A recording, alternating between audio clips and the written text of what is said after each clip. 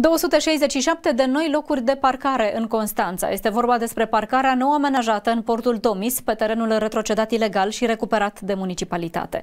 Sunt 7000 de metri pătrați care erau inundați și care acum au fost stabilizați prin turnarea mai multor straturi de piatră și a două straturi de asfalt. Parcarea poate fi utilizată de către cei care tranzitează zona și achită tarifele de parcare aferente. Și alte zone rezidențiale sunt reconfigurate pentru a crea noi locuri de parcare. În vizorul autorităților locale este acum o zonă de pe strada Soveja, în locul unor garaje demolate. De asemenea, în cartierul Inel 2 continuă lucrările cu montarea bordurilor, dar și în alte patru zone unde este consolidat terenul eliberat de garaje.